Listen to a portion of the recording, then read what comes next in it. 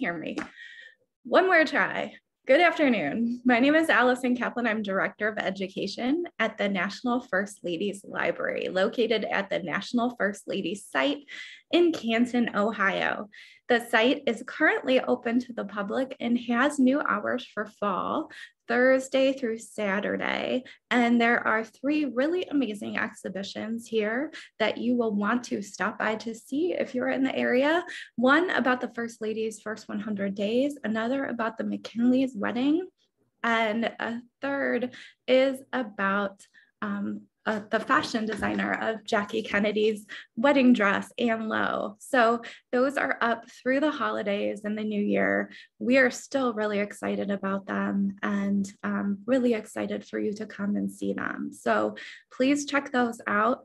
Before we get started with today's talk, I want to remind you about some upcoming programs, but also some housekeeping issues related to Zoom.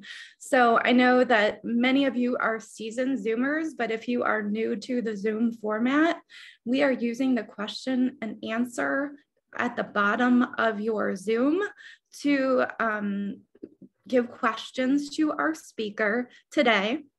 Um, we also have the chat open. So if you have any um, technical questions for me as you're listening, um, any um, info that you want about the site, we will link in that chat to Eventbrite to register for future programs with the National First Ladies Library, um, as well as some books um, related to upcoming talks and other things.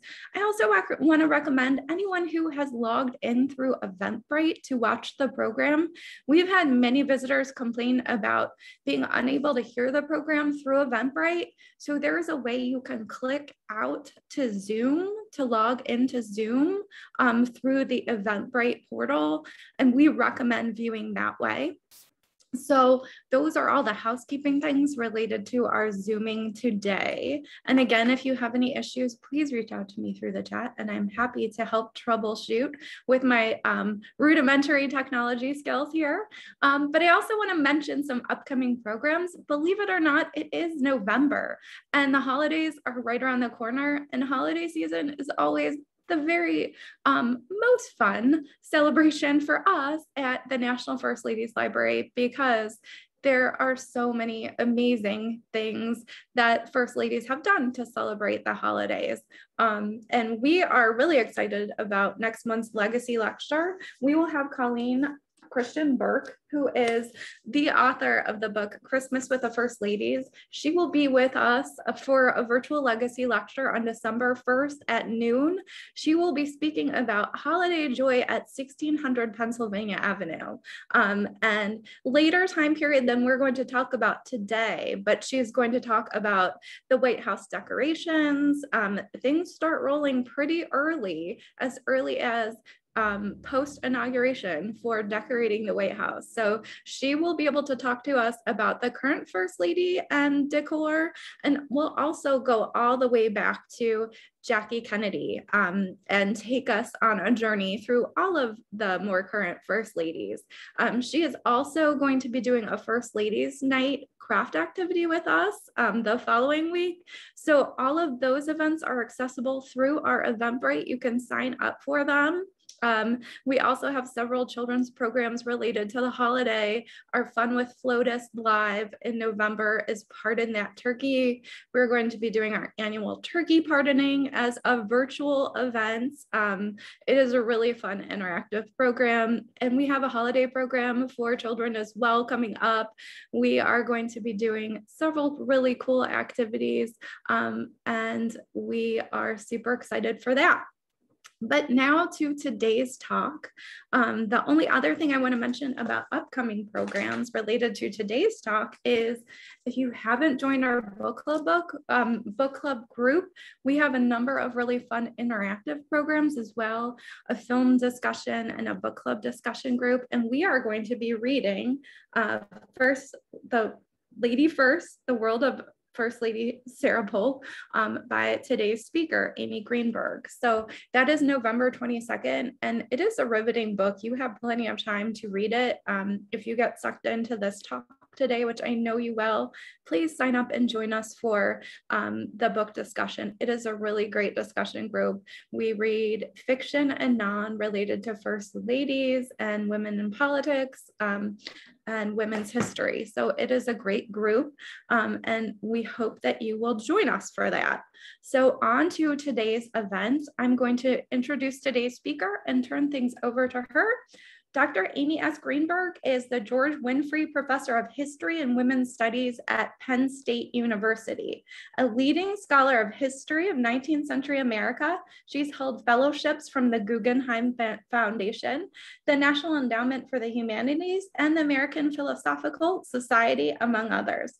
She's published five books, including A Narrative History of the US-Mexican War, an investigation into the role of the ideology of manifest, manifest destiny played in both foreign affairs and American society at home, and a study of the relationship between gender, culture, and urbanization.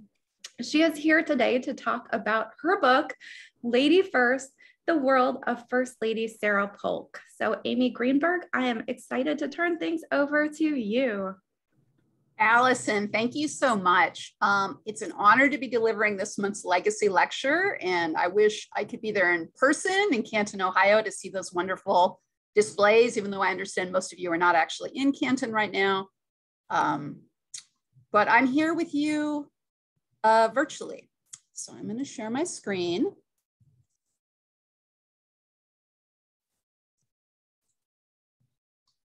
All right, as Allison mentioned, I'm here to talk to you all about Sarah Polk.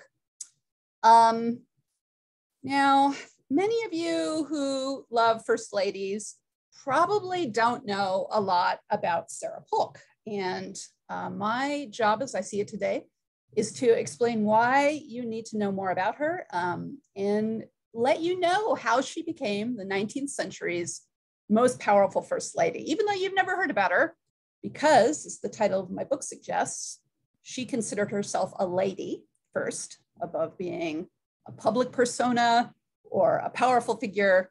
She believed herself to be a lady and all that entailed.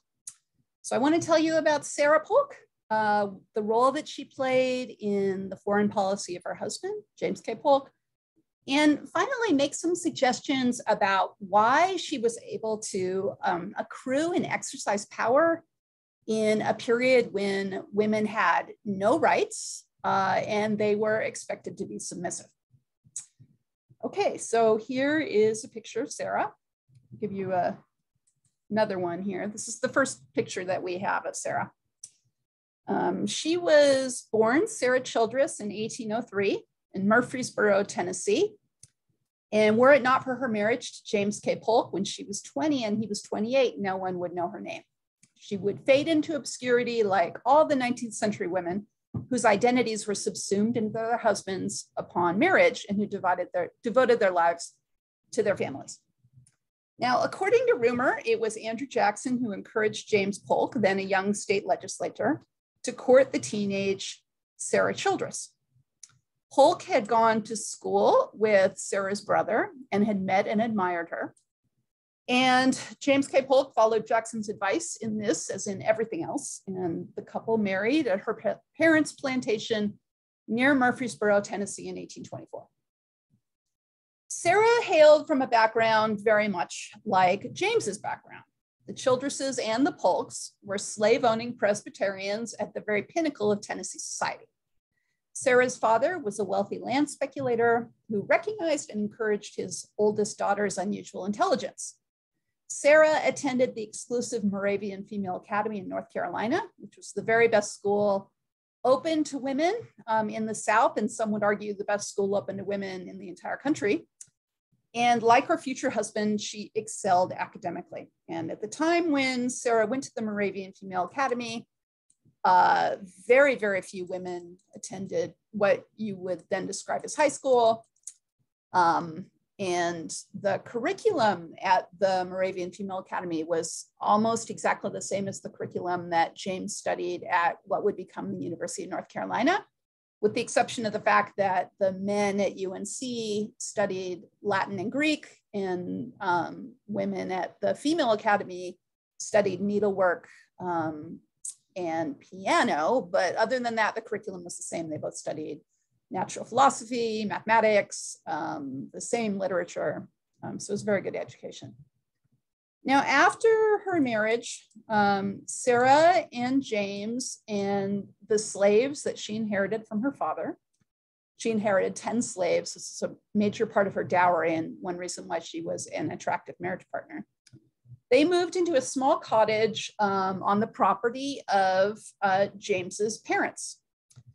Sarah's mother-in-law did all the entertaining, which freed Sarah from a great deal of the normal responsibilities of a young wife, first assuming control of the household. Now, in the normal course of events, Sarah would have been busy with the demands of motherhood. But because James underwent experimental surgery for bladder stones as a teenager, he was left unable to father a child. Now, what I would love to know is if James was aware that he would never be able to bear children. And if he spoke to Sarah about this before they got married, but we don't know this. What we do know is that when it became apparent that Sarah wasn't going to become a mother, um, she embraced James's political world um, in a very, very unusual uh, manner and part and became part of the reason that she became so powerful. Now, Sarah Childress Polk was in many ways a conventional antebellum Southern lady. She venerated her husband above all other men. She spent far too much money on clothes, hats, and shoes. And she believed in her heart that um, God intended Black men and women to live their lives in slavery. So she had a very hierarchical, strict, religious view of the world that was very much in keeping with her time and place. Um, she believed that hierarchy was predestined, white above black, men above women. Um, at the same time that more evangelical sects like um, uh, the Methodists uh, and the Baptists uh, began to preach that um, equality of all men and women um, was not only possible, but true in God's eyes, and that um, anybody could uh, receive God's grace um, if they wanted to. But as a slaveholding Calvinist Presbyterian, Sarah knew that having power meant the difference between life and death, and that God intended the powerful to guide the weak with a firm hand. Um, and as a slaveholder and a woman, she was able to understand this dynamic in a particularly nuanced manner and to appreciate the value of power more than some other people. But in other ways, Sarah was decidedly atypical. She was childless in an era when childbearing and rearing defined a woman's life. And even before she got married, she delighted in party politics, not just the legislation and principles that impacted the life of all Americans and inspired fierce partisanship by both the Democratic Party and the opposition party, which was called the Whigs, but also the practice of party politics, the campaigning, gossip, coalition building, and elections that consume the vast majority of a candidate's time. And yesterday was election day, and I was thinking about this a lot um, while I was working the polls, how um, this is a real part of American history is, is um, the excitement of elections. And even when women couldn't vote, that excitement was open to everybody um, this idea that democracy can be um, renewed at every election and that, that it's all in our hands by casting a vote. Women couldn't cast a vote, but um, they could participate in that celebration um, nonetheless. So Sarah's um, enjoyment of politics and her engagement with it came naturally. Her father and her brother were both very political people, and they shared that passion with her. The first two decades of Sarah's life coincided with um, the a vast expansion of voting in America and the simultaneous creation of party politics. Um, as average Americans came to realize that politics could be a means of power, especially on the slaveholding frontier, where state legislation could bestow immense profits um, or sentence a person to complete failure. So Sarah um, was the perfect partner to James. And as the years passed, they forged a union of incredible strength. And, and if you read Lady First, um, you will read about uh, a really, really remarkably loving um, marriage. Um, they really were everything to each other. Sarah fulfilled all the normal expectations for political wives. She was social. Um, James was not social. And she was very solicitous of his health, which was never good. Sarah fought a valiant effort to get James to eat and sleep on a regular basis. Um, he was sort of a workaholic and didn't eat very well. But that said, theirs was far from a typical 19th century marriage. And let me actually just say about this image. This was taken um, in the Polk White House um, near the end of their presidency. Uh, the main characteristic that set the Polk marriage apart from other marriages in the period was that they were childless. And this was an era when the birth and upbringing of children absolutely defined a woman's married life. Uh, and Sarah, you know, who was political to begin with and had no children, she threw herself into her husband's work. And, and this is very important. James was not threatened by Sarah's political abilities. In fact, he embraced her political abilities, and this sets their marriage apart as well. When you look at a lot of the presidential marriages in the 19th century, what you find is men presidents who don't fully appreciate their wives' political opinions. And this was absolutely not the case for the Polks. James not only appreciated Sarah's political opinions and her political abilities, he pushed her to be more and more political and to really work as his right hand woman.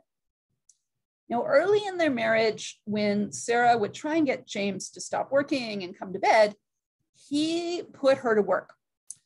Taking up a newspaper, he would tell her this is something that she said herself Sarah, here's something I want you to read, and then tell me what the contents of this are. So soon she was analyzing political debates for James uh, and he also invited her to travel with him. Um, she was one of the only wives who traveled regularly with their politician husbands.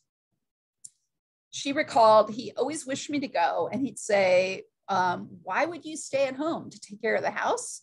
If the house burns down, we can live without it. So, whether James's primary goal was preventing his wife from becoming lonely in their childless house or whether he needed her help, um, Sarah became James's closest political advisor. And, and this suited her fine. Um, one of her friends remarked that, quote, knowing much of the political affairs, knowing much of political affairs, Sarah found pleasure in the society of gentlemen.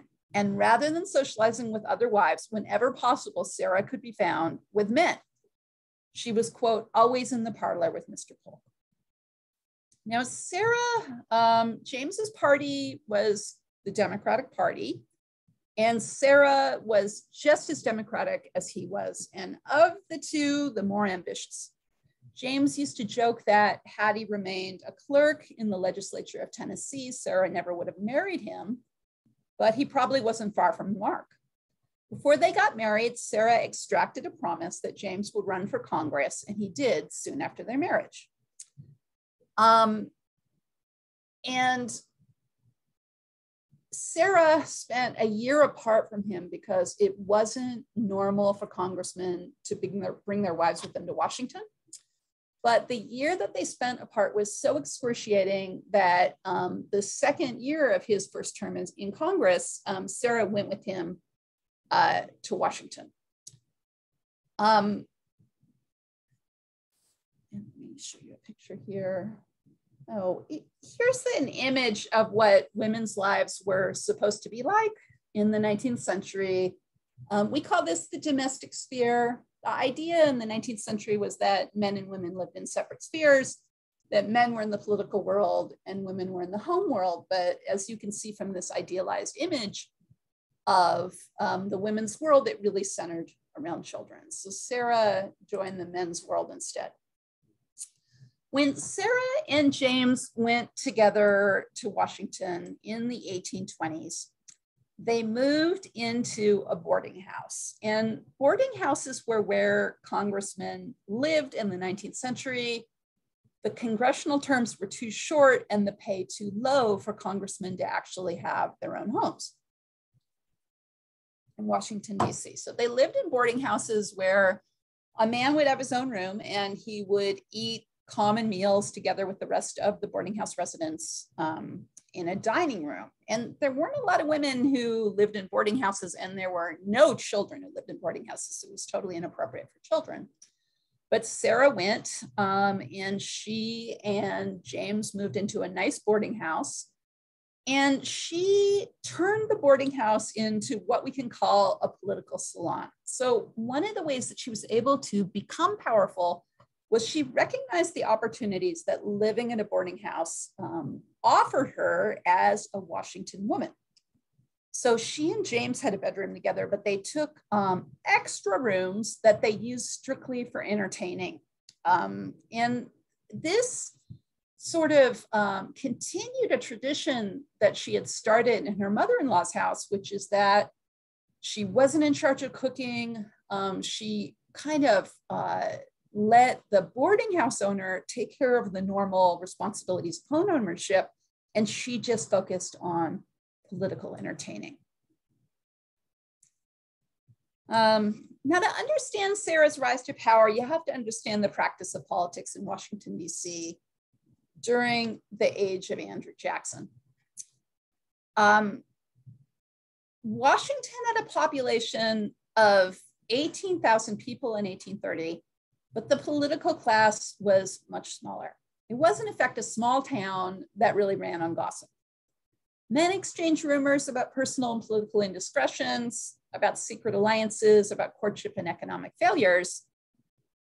Um, I'm sorry, but men exchanged rumors about personal and political indiscretions and secret alliances and political fortunes, while women exchanged rumors about all those things um, and economic fortunes. Gossip became a fixture of national politics during the first Congress uh, when the absence of established parties increased the power of political reputation to a man's success. By the 1820s, Washington's men and women gossiped constantly but separately, women with women and men with men.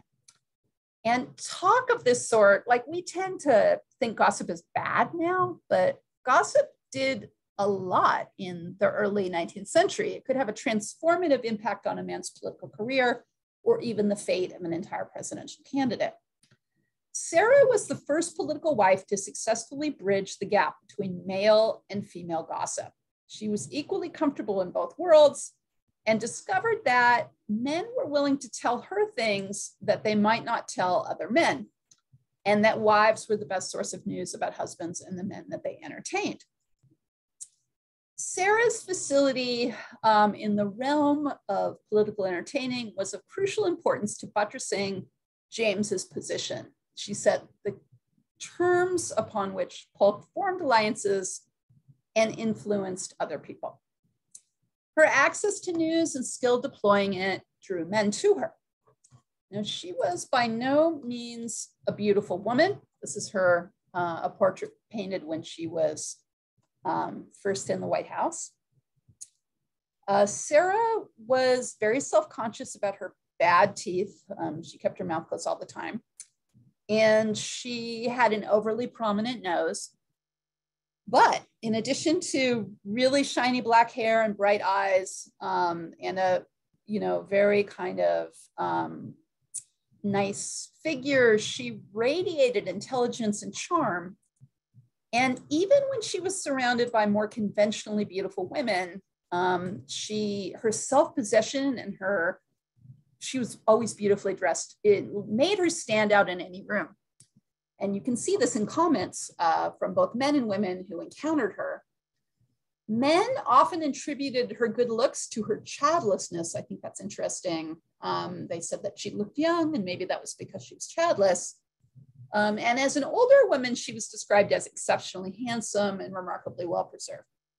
Now, by all accounts, um, even James's political enemies described Sarah as a wonderful conversationalist with excellent manners and a clear eagerness to please. and this was part of her um, her appeal. She was just great at listening, um, and just a pleasure to talk to. Um, you know, there were a lot of women that were fond of her, but her closest relationships throughout her life were all with men, with her father, um, with her brother John, um, and then a lot of James's political colleagues in Tennessee.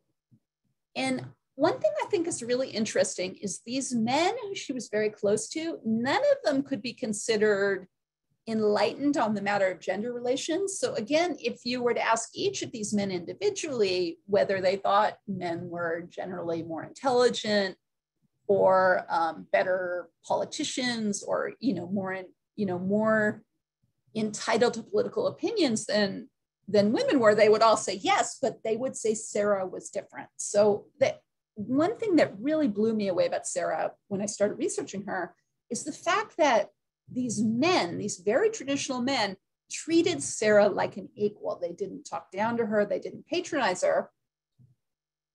They wrote letters to her without any condensation about political matters. So they treated her like a political equal, despite the fact that they thought, in general, women were not um, political equals. So Sarah was able to stand apart, and I'm going to be able to tell you why that is in a little bit. Now, above everybody else, her closest relationship, as I mentioned, was with James, and they were a remarkably successful political team. Now, we don't have a lot of correspondence between James and Sarah Polk because they were so often together. Um, so they spent almost no time apart in the entire course of their marriage. Now, what correspondence that has survived between the two of them shows that Sarah felt comfortable advising James on politics and tactics. She warned him against running for a short session in the Senate. She told him which political editors weren't to be trusted, and he almost never ignored her advice. Now, one thing that's really interesting about Sarah is James was hardly the only politician who turned to Sarah for advice congressmen, senators, and even a justice of the Supreme Court sought Sarah's opinion on political matters and depended on her for the inside information that enabled the successful navigation of the Washington political scene. One um, close friend of James's and close friend of hers, I should say, wrote to ask if votes in a certain county were, quote, amiss noting that no one is likely to know as well as you. So this is a politician who is asking Sarah what votes are looking like in a particular county, not because she had access to James, but because she would know it herself. Now, Sarah remained in Washington with James for 13 years, um, with the exception of one congressional term when uh, a social event in the Andrew Jackson cabinet. Andrew Jackson cabinet um, tore the cabinet apart. That's called the Peggy Eaton affair, and I can tell you about it in the Q&A session if you want. Uh, but in any case, Sarah basically had to leave Washington, um, but then came back. And other than that, she was by his side. Um, with Jackson's support, James became Speaker of the House of Representatives in 1835. And James's, here's a picture of James as Speaker of the House. Um, her husband's position provided Sarah with new authority among the wives of Washington's most powerful men. And in 1839, James decided to leave Washington and return to Tennessee and run for the governor's office um, Sarah was not necessarily in support of this plan. She really liked Washington, D.C., uh, but James had to do it to help the party. And when James left Washington, um, a Supreme Court justice wrote Sarah a poem praising her playful mind. Um, and it's a lovely poem. Now, in the months that followed the exit of the Polks from Washington, Sarah received letters from politicians indicating her power. Uh, one politician bemoaned her absence from a city where, quote, a woman can learn more than a man, greatly more, saying, You have access to information I don't. And, um, you know, over a decade of political service to James in Washington, um, often struggling to meet his demands for political news, he would say to her, Sarah, go see if you can find out information about what this or that congressman is planning on voting on. Um, you know, left her in this kind of uh, very powerful political um, uh, status. Now, uh, so James and Sarah go back to uh, Tennessee. James became the governor. Um, Sarah was more of a success as uh, Tennessee's first lady than James was as governor. He was defeated for reelection twice. Uh, and during that time period, he campaigned extensively. And this is a period, the biggest period when they're separated, when we have letters between them. And the letters between the two of them re- reveal how dependent he was on Sarah for political information. At one point, he wrote her, You must send me news um, asking her to lobby editors and politicians. Her ability, inability to live up to his expectations pained her. She once replied with exasperation to James's demand that he, uh, you know, talk to some newspaper editors and see where they stood on his political positions. She said, um, I'm unable to learn anything with a house full of guests. I trust you won't hold it against me that the housework is neglected. So they had a rather playful relationship when it came to conventional gender roles. He didn't care that she ignored domestic matters as long as she continued to provide him with the political information that he needed. You know, unfortunately, while they were separated, Sarah became very depressed, um, so depressed that James adjusted his behavior and they were never again separated for more than a week. Now, in 1844, um, James was out of work. He had run for governor for reelection twice and had lost. And they were living in Tennessee, and he was focusing um, on running a cotton plantation uh, to make money. But that year, 1844, President John Tyler attempted to annex Texas. And the two frontrunners for that nomination, Henry Clay and Martin Van Buren, uh, both opposed Texas nomination, Texas annexation, arguing that it would lead to war with Mexico and exacerbate sectional tensions. Um, but Polk uh, was a big believer in both Texas annexation and manifest destiny, the idea that the US should expand across the continent. Both his family and Sarah's family grew rich, speculating on land which had been taken from Indians um, and growing cotton there. So he saw this as the ideal for growth for America, move across the country, take land from Indians and Mexicans, and, um, you know, that's the idea of America that they had in their mind. So what James did is he issued a letter in favor of Texas annexation, and he managed to gain uh, the nomination of the Democratic Party. He was the first uh, dark horse candidate because he was unexpected um, as a candidate, but be, the Democratic Party wanted someone who supported um, annexing Texas. So he became the candidate. Uh, here's a national badge for the Democratic Party, um, Polk, Dallas, um, in favor of Texas and no bank. Um, so uh, James began to run for president. Now, in a way, running for president was easier than running for governor because uh, in order to run for governor, he had to travel all around the state. But presidential candidates were not expected to campaign um, for themselves. So they were basically able to stay together. And James put Sarah in charge of coordinating his campaign. Um, now, when actually, when Polk was first nominated, one advisor encouraged him to put Sarah to work, saying James might lack the time or tact to conciliate or please, but Sarah could. Um, quote, the wife of a man aspiring to the White House is no minor circumstance. Mrs. Polk should be visited by Whigs and Democrats of her own sex, as the ladies of the other side uniformly speak well and highly of her.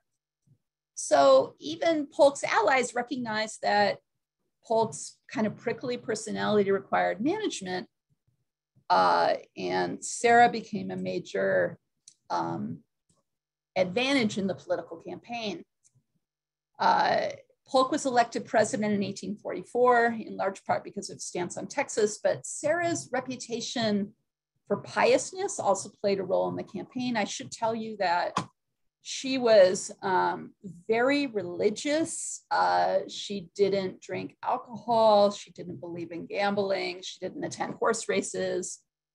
Um, and this very traditional religious outlook uh, was very much in keeping with the values that a lot of Americans had, but wasn't normal for presidential spouses in the time period. If you look at the first ladies um, that came before Sarah, um, most of them uh, were happy to go to the theater, to dance, to throw parties, to drink alcohol. Uh, DC was uh, kind of more of a sophisticated and freewheeling place than other places in America. So Sarah's kind of traditional image uh, really worked for her.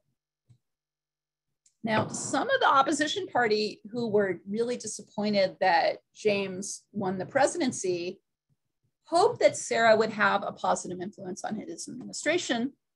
One um, politician's wife, Sarah Preston Hale of Massachusetts, uh, who was 48 years old and a big supporter of Polk's opponent, Henry Clay, wrote that quote, she wondered if perhaps Mr. and Mrs. Polk together will make a very good president. Now the two headed to Washington and they set up a shared office in the domestic quarters of the White House. James left her piles of newspapers each evening to digest and Sarah's job was to work through them and leave markers on the articles that she wanted James uh, to read. So she controlled his access to news. They regularly put in 12 to 14 hours of work in a day. Polk admitted near the end of his life, quote, none but Sarah knew so intimately my affairs. But even at the height of his powers, President Polk was open about the degree to which he and his wife worked as a team. Typical was his comment when Sarah broke up an impromptu concert given by Democrats in his honor on the Sabbath, which they were opposed to doing anything on the Sabbath but going to church. He said, Sarah directs all domestic affairs and she believes this is domestic. Now, the hopes of Sarah's constituents are documented in the many letters that they wrote to her upon James's election. These reveal both the normal expectations for women of the era and the power of the domestic ideal of the time. Her supporters expected her to be a model of religious propriety and to guide her husband's behavior by setting a moral example.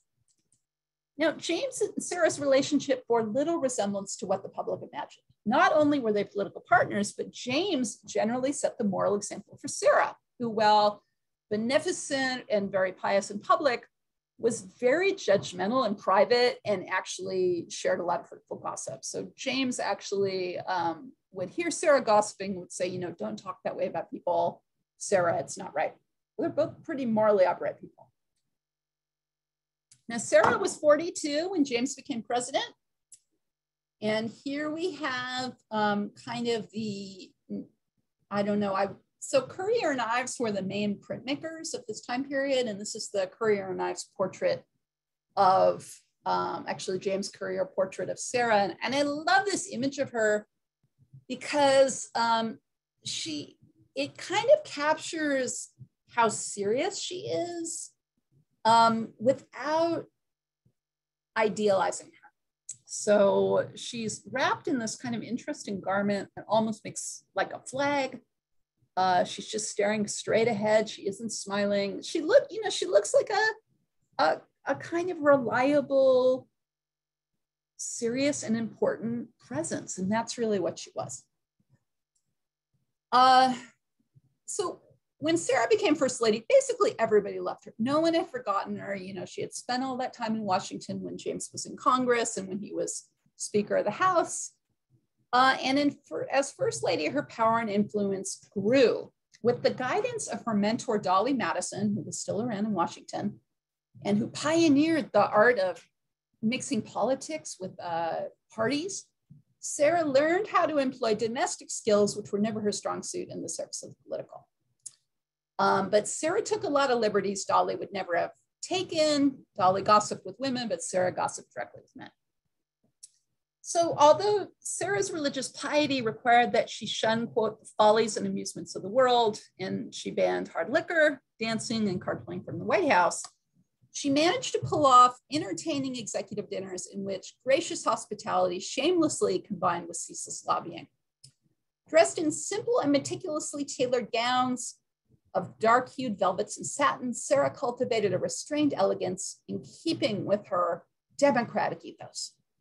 She held two regular evening receptions every week and added a third on Saturday when Congress was in session. And when James was unable to attend these um, receptions, she hosted them alone. Powerful men cultivated her goodwill. More than one leading politician openly declared he would rather discuss the issues of the day with her than with her husband. Um,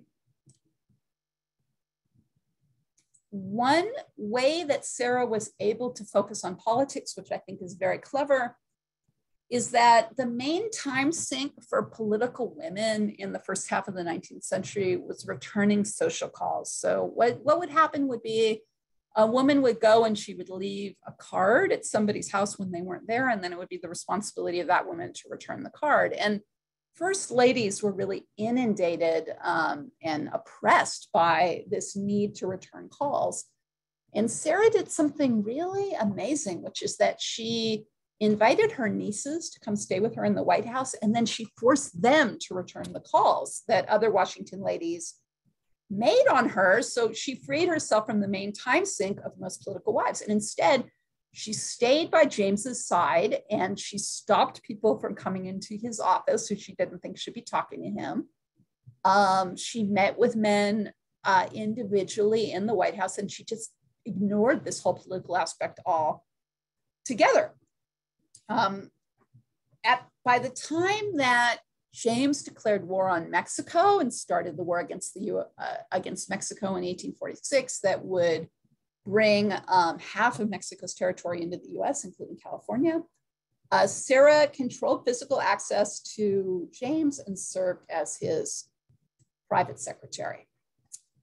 Um, just a brief thing about the war with Mexico. This is the key accomplishment of the Polk administration was taking all of the land that became California and Colorado and Arizona and Nevada and Texas and New Mexico from Mexico. And when you read my book, you can see the extent to which Sarah's correspondence um, with other politicians helped um, enable this. Um, she also uh, did a lot to cultivate support for this war among um, members of Congress of both parties. Uh, and she was a real believer in this war as much as her husband was. Okay. Now, I just want to show you an image of a presidential reception to help you understand um, the kind of events that Sarah threw during the US Mexico War. She made sure that there were always veterans, um, preferably injured veterans, on display at, um, in these receptions, and she would have toasts to the US Mexico War. Um, and when you read James's diary, you can see that during the war, he is sort of out of touch with what the public thinks about it. And I think that that's because Sarah is controlling access to him and editing his news intakes to limit his exposure to kind of the increasingly vindictive attacks on him for a war that went on longer than most Americans would like, and that resulted in a lot more deaths than he would like. All right, so I've explained how Sarah accumulated and exercised power. One thing that's interesting is how the press negotiated this. So, Sarah is a political woman in a period when women are not supposed to be political. This is what the doctrine of separate spheres says. So, how does the press deal with this? So, basically, what the press does is they report on how political Sarah is, but they explain or justify her behavior by suggesting that she's doing everything in the interest of her husband.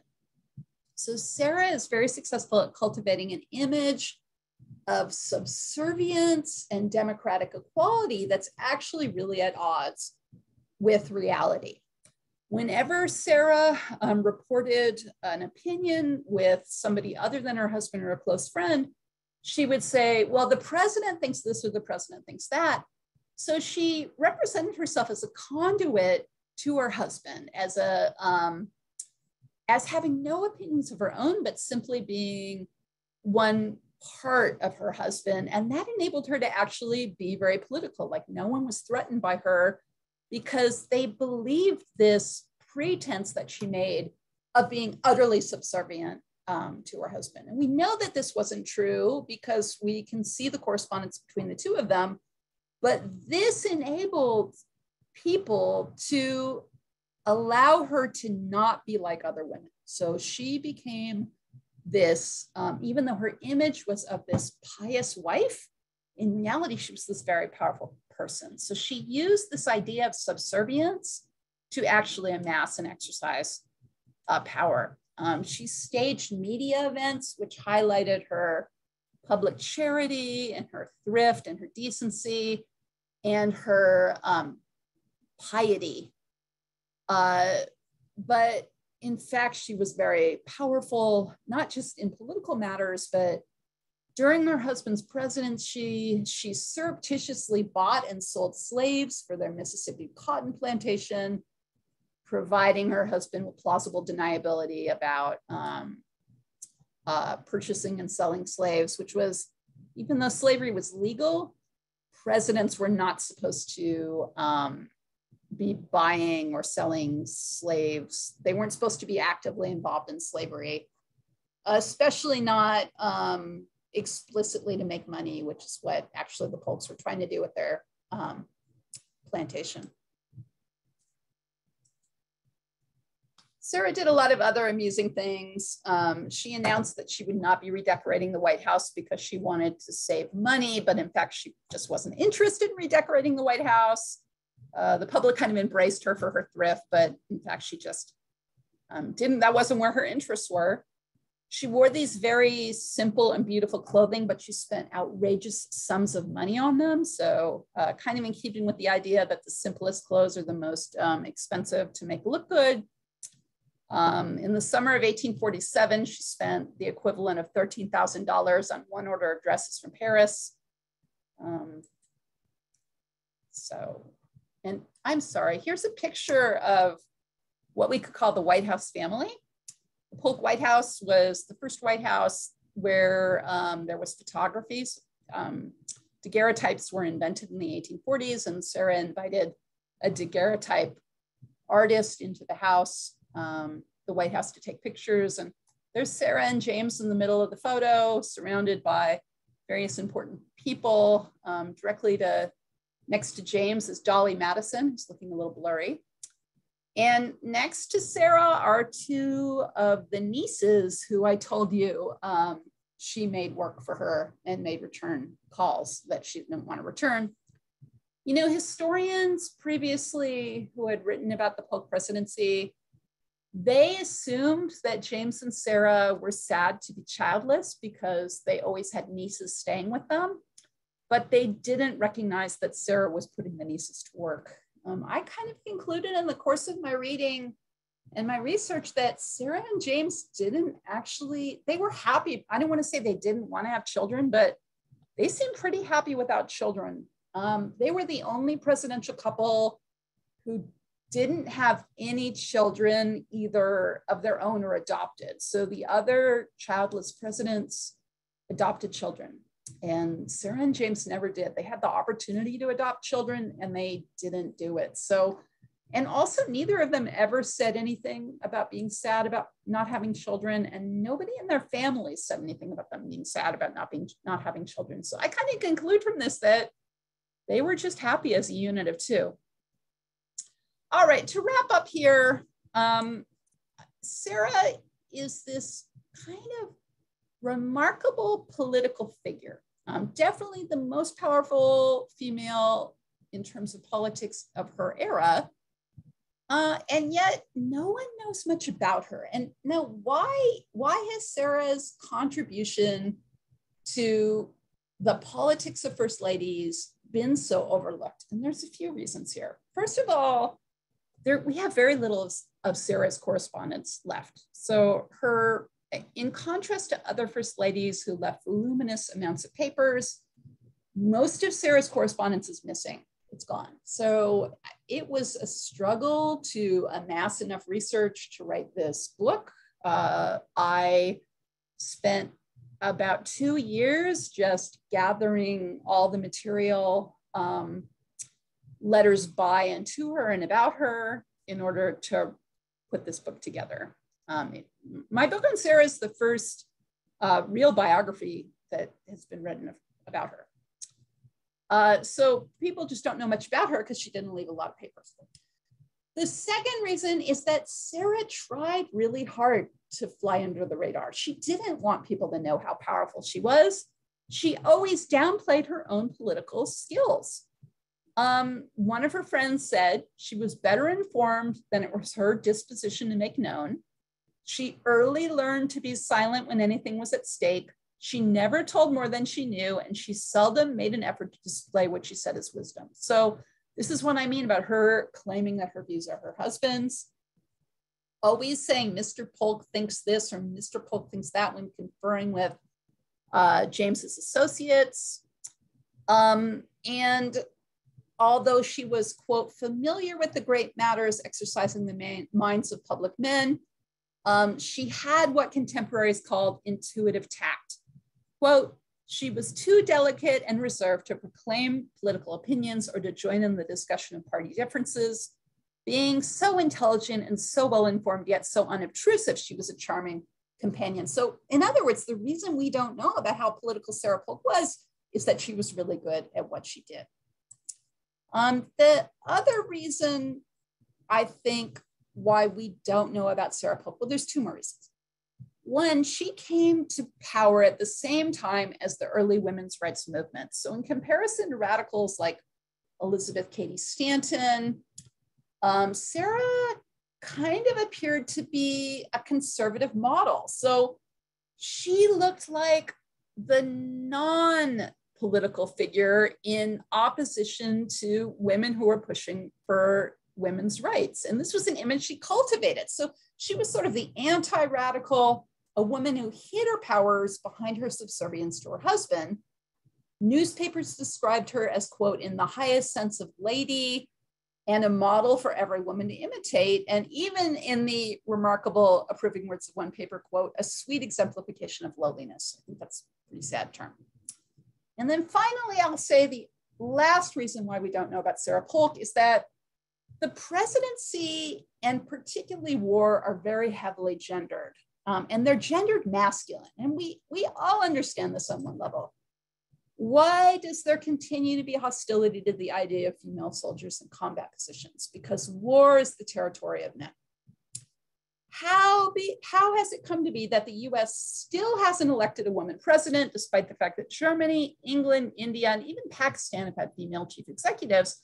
Because some segment of the population continues to believe that the commander in chief should be a man. Now, if that's true now, what must it have been like in the 1840s? So in the 1840s, I can tell you, political power and war were not things that women were supposed to participate in. Um, so Sarah managed to manage the trick of excelling in the male sphere of politics without seeming to threaten anyone. This was because, one, as one approving commentator put it, she lived behind her husband as a politician. In an era of increasing agitation for women's rights, Mrs. Polk cultivated a persona of subservience that powerful men felt found intoxicating.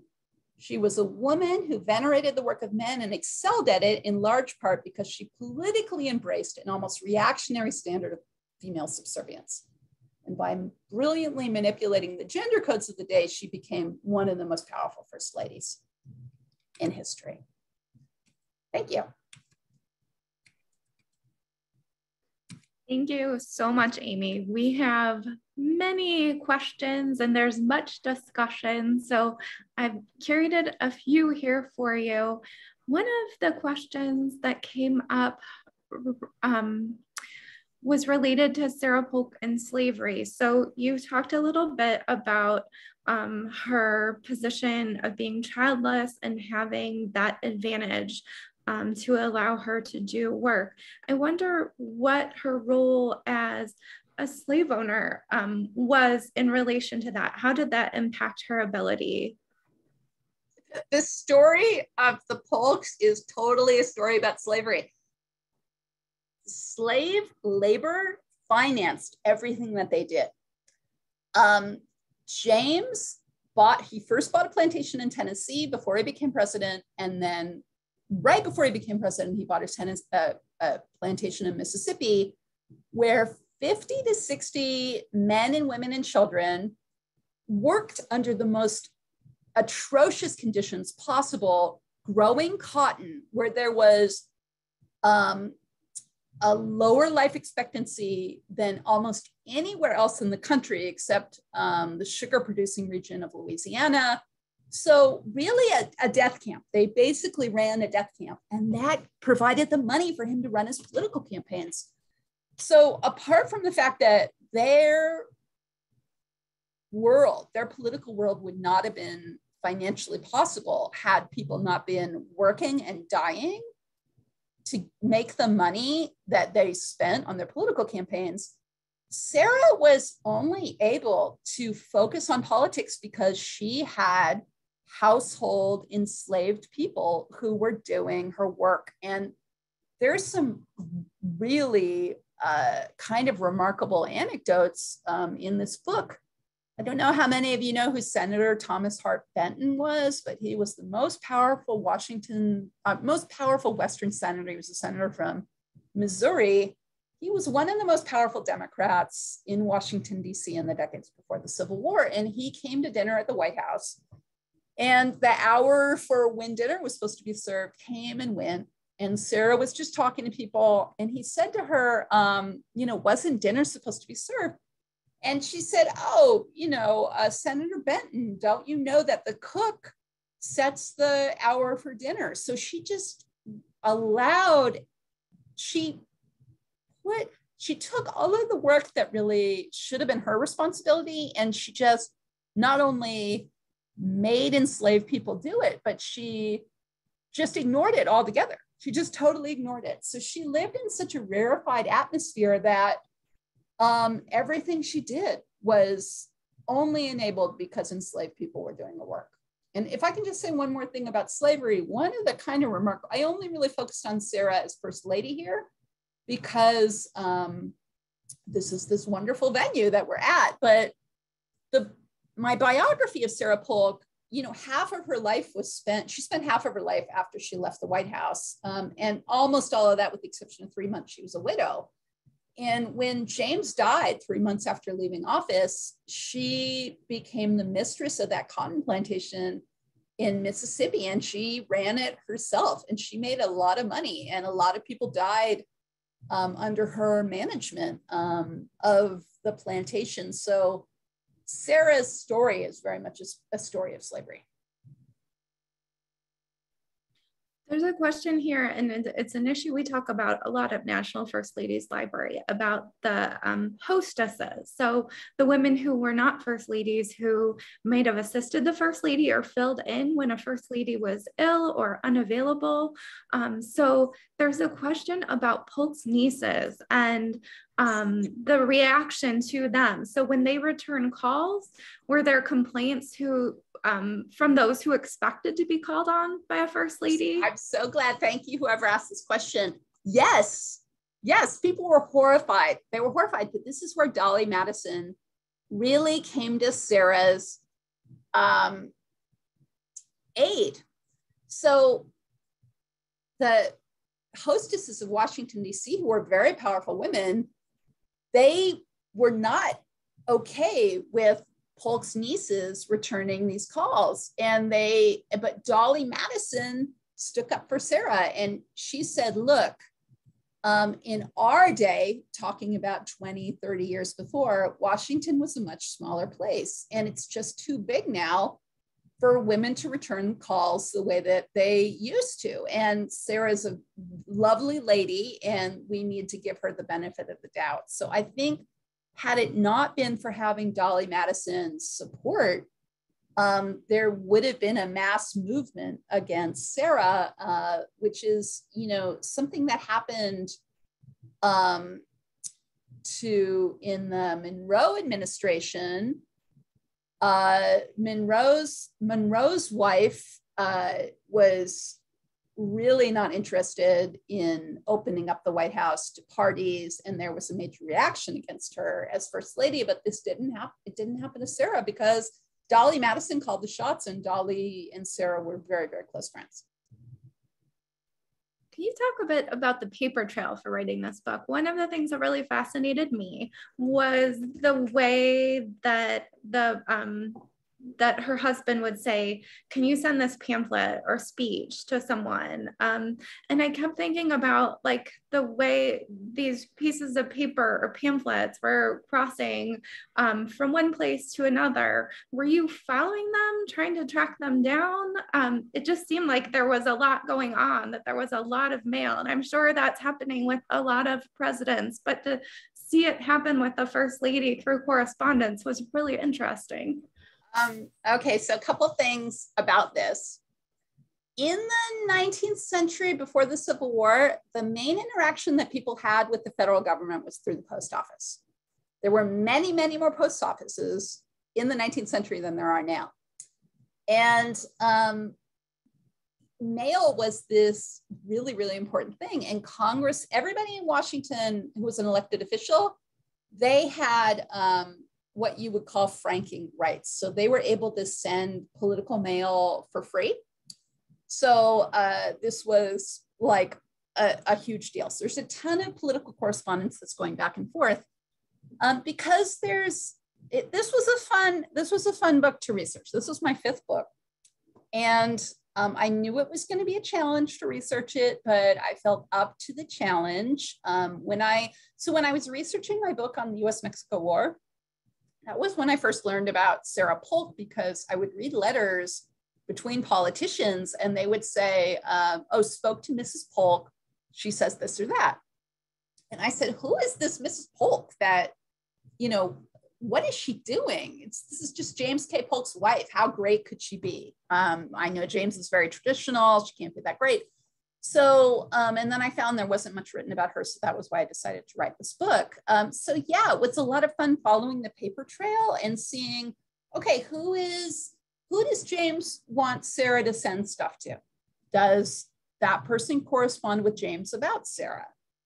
Uh, and sometimes they did. So it was, it was really a sleuthing act. Um, and there's a scholar named David Henkin who wrote a book called City Reading that talks about the importance of writing um, generally in this time period.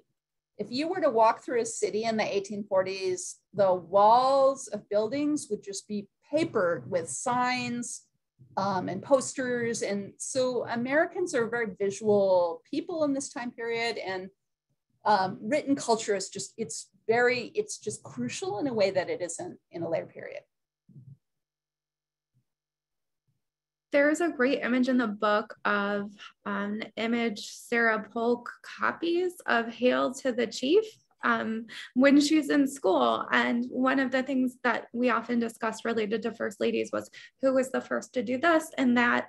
Um, and there's an interesting discussion in the chat about the song Hail to the Chief and Sarah Polk's role in making that um, so important to the presidency. Can you talk a little bit about that? Yeah. So um, hail to the chief. Um, so James was not very tall. He was maybe five seven, and he was very slender. He was a small, small man, made smaller by the fact that he was he just didn't eat very well. So he was always skinny. He was never in good health. Um, and so Sarah started during the U.S. Mexico War. Started having the band play Hail to the Chief when he would walk into a reception as a way to get people to notice him. But, you know, right, as Allison points out, she loved that. Like when she was back um, at school, she copied out the music to Hail to the Chief. So she, really liked the piece of music. But so she was the first lady to, to play that um, in the White House. And uh, and it was because she wanted people to notice James. So there's another question and discussion. We just had Elaine Weiss speak at the National First Ladies Library. We were wrapping up our suffrage centennial celebration and thinking about Sarah Polk in relationship to women's suffrage and women's rights, which she had very little use for. And one of the people asking questions was like, I have a really hard time kind of dealing with this and looking at it as a con- in the 21st century. Can you talk about Sarah Polk's relationship with suffrage and women's rights? Um, did she just have not have a need for it because of I, her? I would I would love to talk about this. So, you know, if you want to be uncharitable, which there's plenty of reason to be uncharitable, you would say Sarah had no interest in other women getting the rights that she had. She had all the rights that she needed because she was rich, she was white, she was married to a man that thought she was equal, she had slaves to finance her life and to do all her work for her. Um, and she was well educated. So she was able to do everything that she wanted to. She had no need for any rights. She had them all and she didn't want anybody else to have them. That would be one way to look at it. That's the least charitable interpretation you could put on it. And I would say there's at least a 50% chance that's true. Now, to be more fair to her, I would say, and this is why I was talking about her religious perspective. If you are an old school Presbyterian like Sarah is, you believe that hierarchy is pre destined, right? That hierarchy is right, that God made things that way. This is really her belief. So she, at one point, she and James are hanging out in the White House. It's a sweltering hot summer day, and there are enslaved men working in the garden outside. And she says to James, James, um, look at those men out there. Um, who are working in the hot sun, and you and I are sitting in here um, in the, it wasn't, of course, cool by our standards, but for them, cool compared to being outside. Um, this is this is God's will. God made things this way. They intended things to be this way. And James is actually kind of like astounded by this. He's like, oh, okay, you know, if you say so. But he would repeat that story to show that she really she's a true believer in this. So she thinks God intended women to be below men. I really think she believes this, but at the same time, she thinks there are exceptions. And she's an exception, and some of her friends are exceptions, but that this is this is the way things are. So I think if you look at it as um, a, a, an unfortunate political belief that's an outgrowth of her religious worldview, um, that would be a more charitable way to look at it. I I actually came to the kind of concluded by the end of my research that uh, so James and Sarah, if you want to do a whole perspective of how conservative your beliefs could be about race and gender to how liberal they could be about race and gender, they're both very, very close to the how conservative as you can be. But I think James was a little bit more liberal than Sarah. And the reason I think this is that um, when one of James's sisters was widowed, he really pushed her to protect her own property rights and make sure that the kids didn't get control of it. And he he wrote well, and he actually was was pretty to, to the women that he cared about in his life, his views, I would say, um, were more in line with women's rights, certainly, than anything Sarah ever wrote. Thank you for answering that so succinctly. Um, last question for you today, because I know we have kept you for a long time. Um, can you tell us what you're working on now? What are you researching? Yeah. Um, right now, I am working on a book about the election of 1856, which is an election that people don't know. I see, I like things that people don't know that much about. Wrote a book about a war, the US Mexico War, people don't know about, and then a first lady no one knows about, and then now an election no one knows about. So we all know about the election of 1860 because that's the election where Abraham Lincoln um, becomes president, and then there's the Civil War. But the election of 1856 is fascinating because we have um, a candidate, Millard Fillmore, who is an open nativist. He's a xenophobe and he runs on what's called the American Party, which is the only time that a major party that was explicitly xenophobic has run a presidential candidate. It's also the first election the Republican Party runs a candidate for.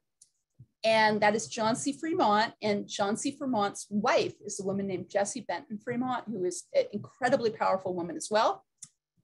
Uh, and then the guy that wins is James Buchanan, um, who is a very, very sad figure, but also a Pennsylvanian and I know a lot about. So I'm writing about writing about that election and exploring female political power.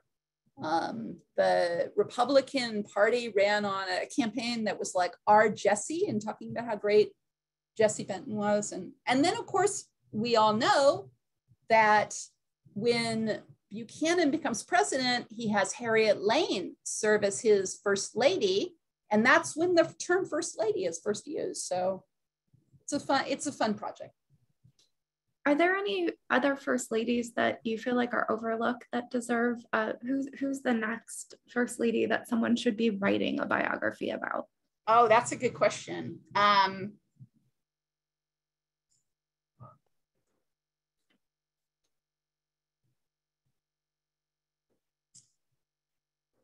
we could use more work on Bess Truman.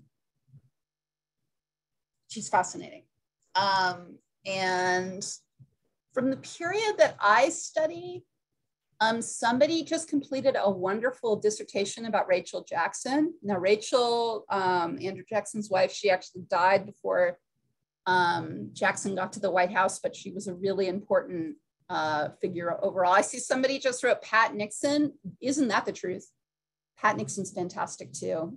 Uh, but you know, I, I am in favor of having some more work done on the on the lesser known ladies from the from the 19th century. Whenever I talk at a um, symposium about first ladies, it's always like all the wonderful 20th century women that we know, um, and then me.